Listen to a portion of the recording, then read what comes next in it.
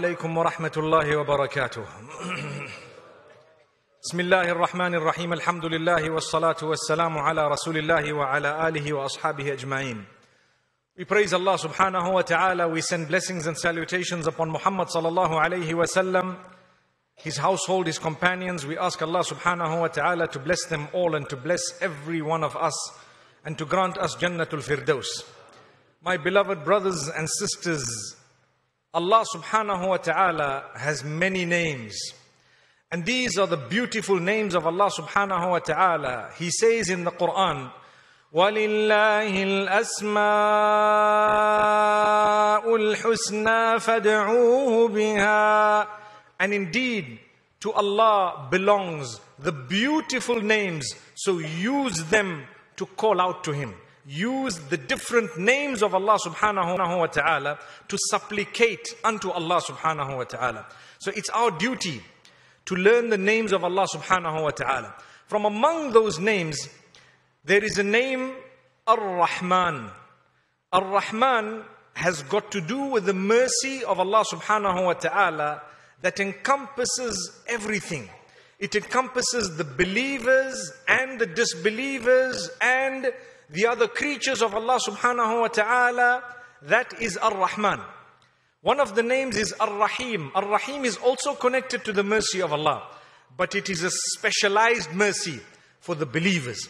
There is a special mercy for those who believe. So, the Prophet sallallahu alaihi wasallam, he used to tell his companions to prostrate to Allah subhanahu wa ta'ala.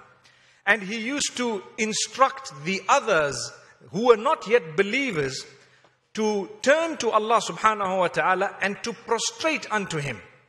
And the term used at times would be to prostrate to the most merciful. Why? They used to prostrate to the idols, they used to prostrate to whatever they made, and they, there were so many idols that they used to worship, but they never prostrated to Allah subhanahu wa ta'ala. And Allah subhanahu wa ta'ala is the most merciful.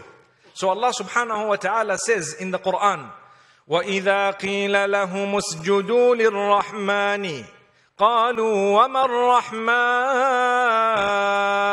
الرَّحْمَنِ When it was said unto them, prostrate to the most merciful, they would say, what is the most merciful? Astaghfirullah. What is it? What are you referring to? They would try belittling the statement and they would try to add insult, yet they would only be insulting themselves. If someone says, prostrate to the most merciful, what would your answer be? My brothers and sisters, I don't want to say that our answer would be we would not prostrate. Because so many times a day we listen to the muaddin calling us towards the prostration and wallahi we don't go to prostrate. So we need to go back to look at our relationship with Allah subhanahu wa ta'ala. Allah says in Surah Al-Furqan that when the disbelievers were told to prostrate to the most merciful, they said, what is the most merciful?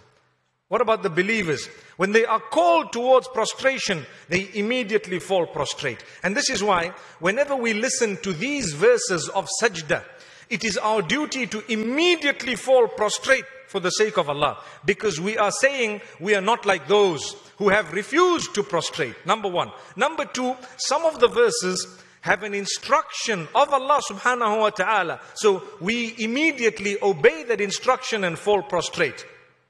Number three, some of the verses have an, have an instruction to others and they had fulfilled it. So we too show Allah subhanahu wa ta'ala that if the others did it, we will also do it. So these are the few reasons why we fall prostrate in what is known as sajda to tilawa. It is known as the prostration during the recitation of the Quran. Remember, my brothers and sisters, never ever be lazy to fulfill your salah. That is the prostration. Allah subhanahu wa ta'ala has told us that on the day of judgment, those who will be called to prostrate to Allah subhanahu wa ta'ala, who were not prostrating in this world, will not be able to prostrate because their backs will become straightened and they won't be able to fall down in prostration. So make it a habit to turn to Allah. This is a beautiful month, a month of prayer, a month of recitation of the Quran, a month of the mercy of Allah subhanahu wa ta'ala. Remember, when the muaddin calls, wallahi, if you heard it, it is registered against you and your ears. Your ears have heard. Hayya al falah. Come to success. And you didn't go? And you still expect success? May Allah make us steadfast. May Allah subhanahu wa ta'ala accept it from us. So, my brothers and sisters, thereafter, when they asked the question, what is Ar-Rahman? You know, it is something to say, who is Ar-Rahman? You are at least asking, who are you referring to? But to say what is an insult. You know, if I, if you were to say your name to someone and they were to answer you in a way that made you seem like an animal, wouldn't it be insulting? Remember, if someone tries to insult Allah, subhanahu wa ta'ala or the messengers of Allah subhanahu wa ta'ala or the signs of Allah subhanahu wa ta'ala, in reality, they are only insulting themselves. They cannot at all insult Allah subhanahu wa ta'ala. The insult is against them. May Allah subhanahu wa ta'ala protect us. So, in the next verse, verse number 63 of Surah Al-Furqan, Allah subhanahu wa ta'ala explains who is Ar-Rahman. And how He chooses to explain it is to show that those who really worship the most merciful, they will be recognized by their qualities. What are the qualities of the worshippers of the most merciful? It's easy for Allah subhanahu wa ta'ala to say, these are the worshippers of Allah. But no, He says, these are the worshippers of the most merciful. Because if these were the qualities of the people, they would earn the mercy of Allah subhanahu wa ta'ala. Wouldn't you like to know what these qualities are? So that we can be saved from the wrath of Allah subhanahu wa ta'ala and we can earn the mercy of Allah subhanahu wa ta'ala. When Allah says, My worshippers, the worshippers of the most merciful, these are their qualities. He starts off by saying, verse number 63, وعباد الرحمن الذين يمشون على الأرض هونا and indeed, the worshippers of the most merciful, when they walk on the earth, they walk in a specific way, filled with humility and humbleness. They are recognized by the way they carry themselves. The worshippers of the most merciful, they are recognized by the way they carry themselves. May Allah subhanahu wa ta'ala make us people of dignity, people of respect, people who carry themselves in the best possible way, remembering that they are the worshippers or that we are the worshippers of the most merciful. So if you carry yourself well, you are actually calling the mercy of Allah upon you. May Allah subhanahu wa ta'ala help us. When a believer, true believer walks, he's not rushing. Obviously, once in a while, you may be in a slight rush. Make sure that that does not cause injury or harm to yourself or to others. When a mu'min, a true believer in Allah subhanahu wa ta'ala is driving, he is careful of the road rules so that not to hurt someone else and not to harm himself because this body, he knows it belongs to Allah subhanahu wa ta'ala. When a true believer is in any conveyance, he makes sure that he is with dignity. Say you are on a plane or a train or a bus a true believer, the one who worships the most merciful, is concerned about the well being of the rest of the human beings who share the same mode of transport. There are people with you on the bus. You don't just, you know, listen to whatever you're listening to so loudly that you're disturbing the people, or you open up your food in a way that the aromatic samosas and everything else smelling for everyone looking at you and you smiling, eating it, and nodding your head and licking your lips. That's not a believer. You carry yourself so well that you share with others. They are human beings. Subhanallah. It's not enough to just carry yourself well. The next part of it, Allah subhanahu wa ta'ala says, وَإِذَا خَاطَبَهُمُ الْجَاهِلُونَ قَالُوا سَلَامًا When the ignorant address the true worshippers of the most merciful, the response is peace. So even the way the true worshippers speak saved themselves from a problem with ignorant people. You know this man argues. You know that this man is picking on you. You know that this person, this woman or this man is actually trouble and still you want to get back and respond in a way that will flare the inferno? Not at all. Never. True believer, you know. So when someone starts up with you, you can smile back and say, Salam, peace, walk away. Peace. If you want to say something, say a good word, walk away. Your expression as a believer will save you from a lot of problems on earth and even in the akhirah. Because your expression, my beloved brothers and sisters, can actually be an act of charity, rewardable by paradise. تبسمك في وجه أخيك صدقة you know that the Prophet ﷺ says to smile at the face of your brother is actually an act of charity. So imagine your expression would actually help you in a very, very big way. And if that was the case, what about your words? Choose your words wisely. If you're a believer, remember, when you just say whatever comes to your mind by your tongue without thinking about it deeply, without selecting the correct words, then indeed you have wasted the function of the brain that Allah subhanahu wa ta'ala has bestowed upon you. You want to say something, you know what you want to say. There's one more stage before you actually say it. Choose the best words to say it. Then you say it. So instead of saying, for example, shut up, you can say, Silence, please. Subhanallah. Or you can say, please be quiet. Or you can just sometimes look. If it's your own child, you can just look at them. And it's enough.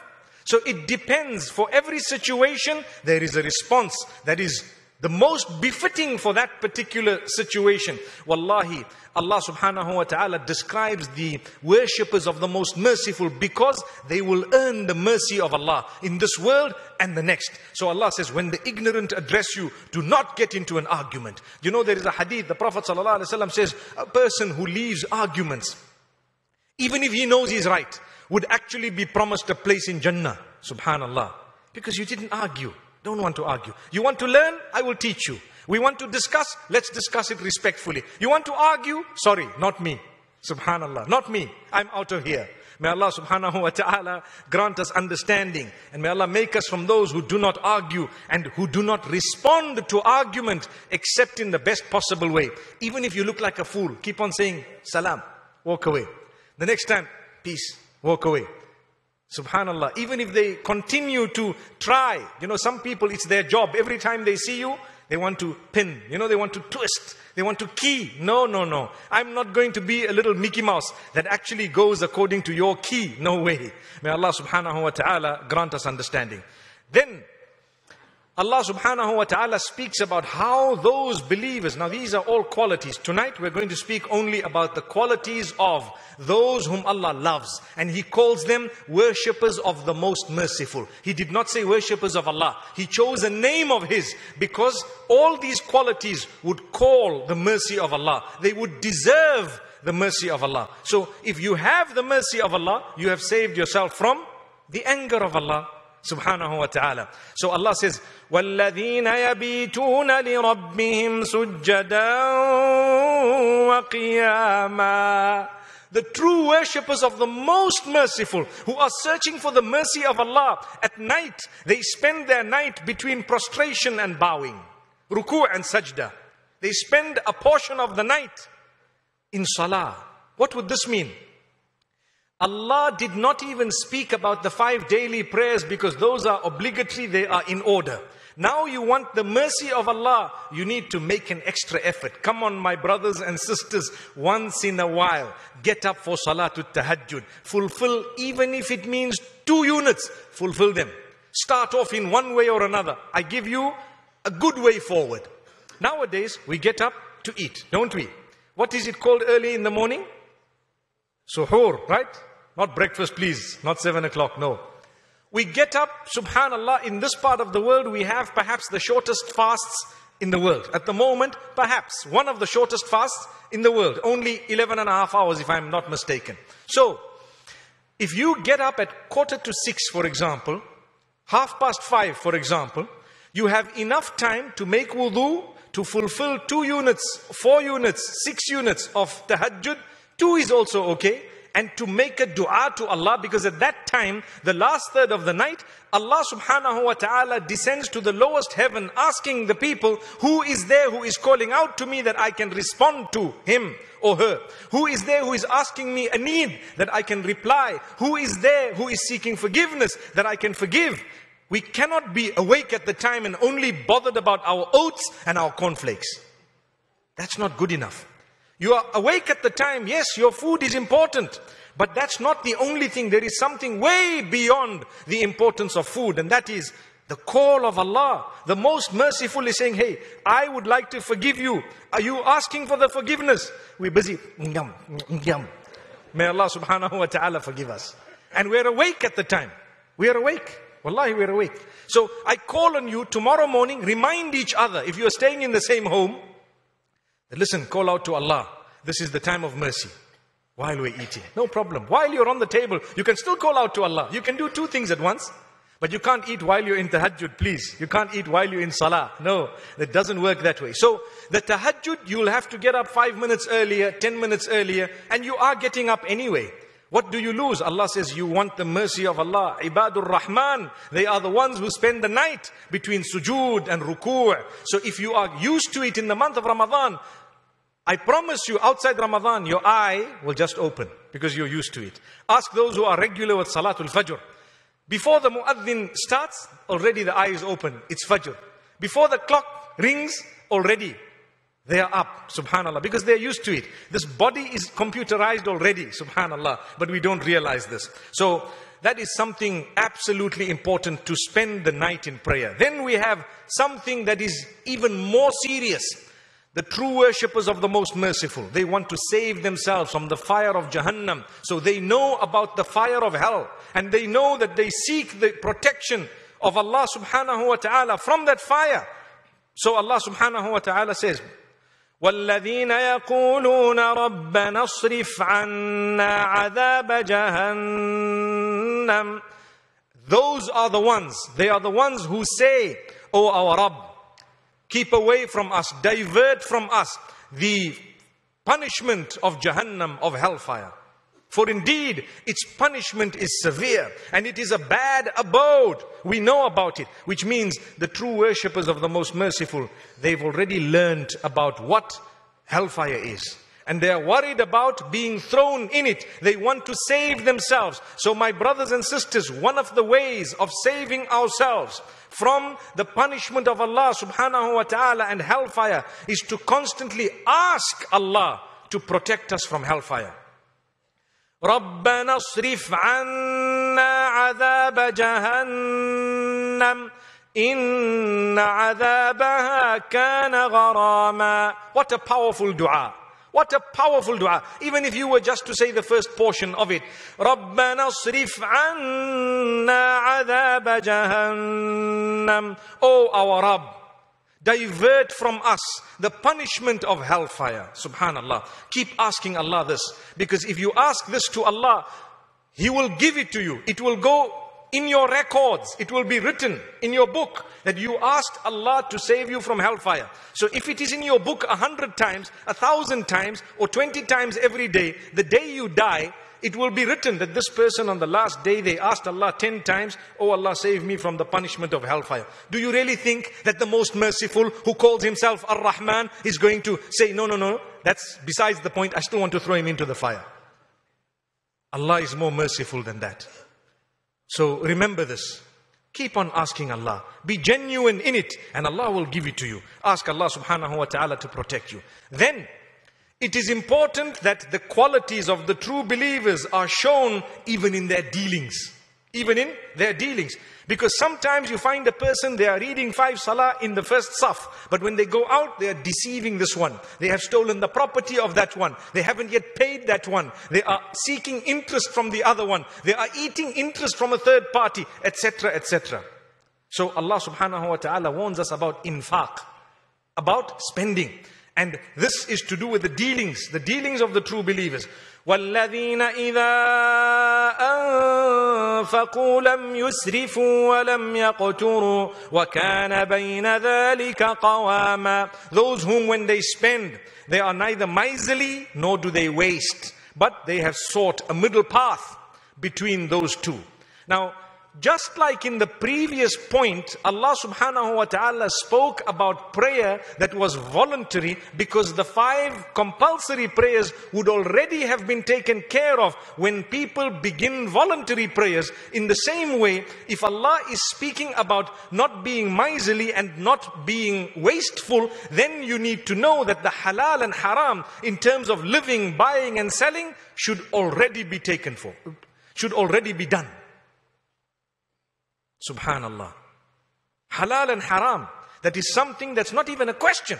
You cannot consume haram because if you do, then there is a lot of improvement that is required. May Allah subhanahu wa ta'ala help us.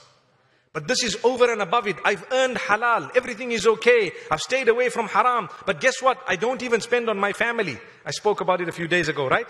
When I said we don't even take our family members on a holiday. Once in a while you take them out here and there. Subhanallah. May Allah subhanahu wa ta'ala bless us. May Allah help us to use our wealth. You know, you have it, spend. Yes, you may save and you must save because you may have something to buy that is perhaps a property maybe or perhaps a vehicle or something you need or you may want to save up for a rainy day but don't be so miserly that you have enough and you're not spending at all and the people around you are just looking at you but dad you know, but mom, what's going on here? You know? May Allah subhanahu wa ta'ala make us from those who strike a balance. Some people waste and some people are very, very miserly. Allah says you need to strike a balance. If you're a true worshipper, you're a true believer, you strike a balance in your spending, people should pick it up immediately that this person is a worshipper of the most merciful. Like we said, as soon as someone deals with you, they know you're honest. Subhanallah. They know that this person, no, no need to worry. They won't cheat me. They won't deceive me. And so on. Then, now that the discussion has been rotating around that which is to do with dealings with people. You know, whether you're talking, whether you're walking, whether you're buying or selling, and the fact that you are seeking Allah subhanahu wa ta'ala's protection from hellfire, that that particular point, yes, it is connected to the hereafter. But remember, my brothers and sisters, when you seek protection from hellfire, there are two major points that you need to be concerned about. Number one, your relationship with Allah. Never associate partners with Allah. And never transgress against Allah. Number two is your fellow human beings. Make sure that you have a record that is straight with them. Seek forgiveness from those you have wronged. Do good to people. Don't be bad. Don't be harsh. So this is why when you're seeking protection from Jahannam, you need to look into yourself to say, where do I need improvement? And whatever I need improvement in, I'm going to improve it. I'm going to make sure that I try my best to improve as a person. My character, my conduct, the way I speak to my children, the time I spend with my family members needs to improve. The quality of it needs to improve as well. And so on. But Allah subhanahu wa ta'ala addresses the point of shirk specifically. And He says, والذين لا يدعون مع الله إلها آخر those who do not call out to gods besides Allah subhanahu wa ta'ala they do not call out to deities besides Allah when they call out they call out to Allah subhanahu wa ta'ala so that is being addressed here and it is an important point together with that Allah subhanahu wa ta'ala says ولا يقتلون النفس and they do not perpetrate murder they don't kill they don't perpetrate murder they don't harm people the harm some leads all the way to death and the other type of harm may not lead to death but if it is harmful you as a believer should be careful you should not harm others Muslim or non-Muslim. Why are you harming a person just because they don't share the faith that you have? That is prohibited, it's wrong. You cannot just harm them. They didn't harm you. They didn't attack you. No. Subhanallah. So you cannot just harm someone, pick at random anyone off the street and say, right, picking on this person, I'm harming them. Why? They're not Muslims. Some people are preaching and promoting this type of ideology. And this is wrong. At the time of the Prophet sallallahu even at the time of his death sallallahu there were Jewish people and Christians in Medina Munawwara. And there was a business dealing that had happened with Muhammad sallallahu and a Jewish man. So much so that his armor was with the Jewish man when he passed on. Sallallahu. So it's not wrong. My brothers and sisters, this is something we need to make clear. Allah subhanahu wa ta'ala says, the true believers do not kill. They do not perpetrate murder. May Allah subhanahu wa ta'ala grant us an understanding. Then Allah says, وَلَا يَزْنُونَ Simple statement.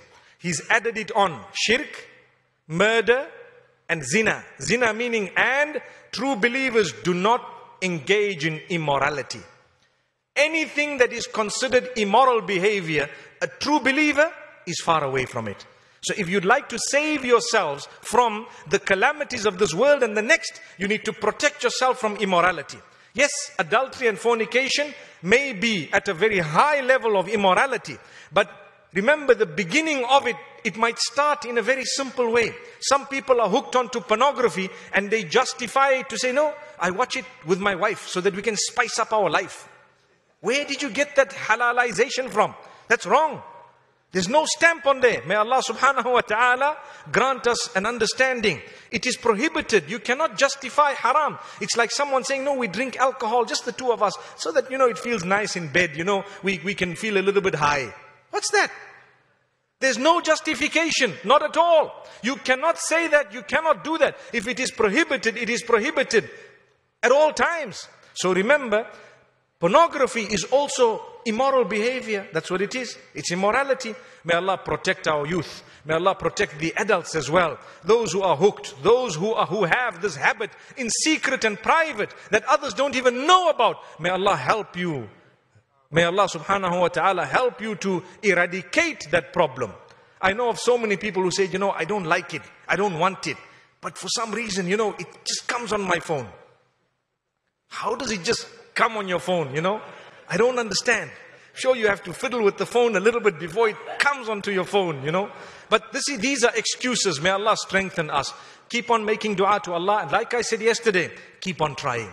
Keep on trying. You fell once, keep on trying. Go again. Block it, stop it. You fell a second time, seek Allah's forgiveness. Try again. There will come a day when you will quit by the help of Allah subhanahu wa ta'ala. Keep on trying. Don't ever give up. Never, not at all. So Allah subhanahu wa ta'ala, after speaking of immorality, He speaks about seeking forgiveness. And before speaking about seeking forgiveness, He says, those who engage in these crimes, they will face a severe punishment. Severe punishment on the day of judgment.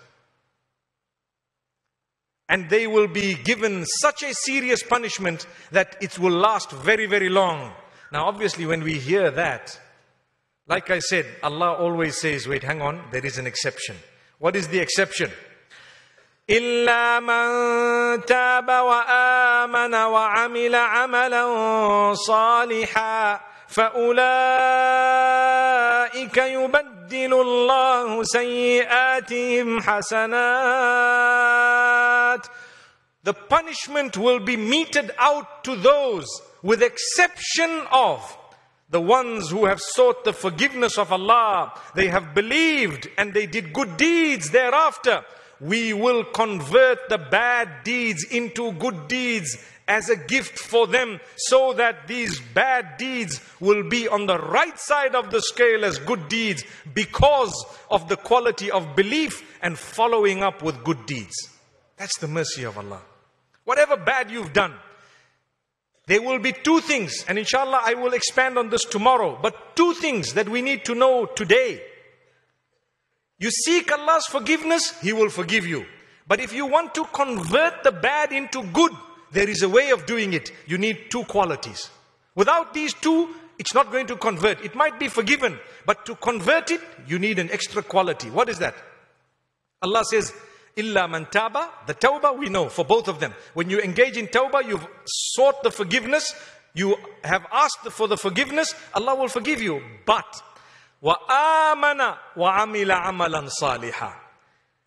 You have believed in Allah and you followed up with only good deeds. So if you did a sin, you committed a sin, you sought the forgiveness of Allah, and after that you only did good deeds and you did not go back to that bad deed. Allah says, you deserve for us. You deserve that we convert it for you into good. Why? Because you didn't do it again. You carried on with goodness and you did good for the rest of your life thereafter. Allah says, Oh, in that case, there is a bonus awaiting you. May Allah subhanahu wa ta'ala grant us that bonus. So these are beautiful verses of forgiveness. Allah will forgive us.